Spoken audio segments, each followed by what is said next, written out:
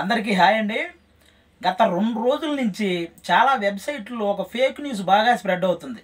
ఏదో హైపరాది కోసం ఎవరో వెతుకుతున్నారని ఏదో దాడి చేయడానికి వెతుకుతున్నారని ఏవేవో ఫేక్ న్యూస్లు. అరే నాన్న మీ ఫేక్ న్యూస్లు రాసే వాళ్ళందరికీ ఒరే మీ దగ్గర డబ్బులు లేకపోతే నాకు చెప్పండి నేను సంపాదించే దాంట్లో కొంత తీసి మీకు కూడా ఇస్తాను.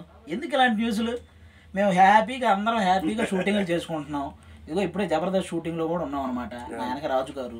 ఇక్కడ శాంతి స్వరూపు ఇలాంటి ఫేక్ న్యూస్లు రాసే వాళ్ళందరికీ మా శాంతి స్వరూపును అప్పగించాలరా మీకు. భలే ఉంటుంది.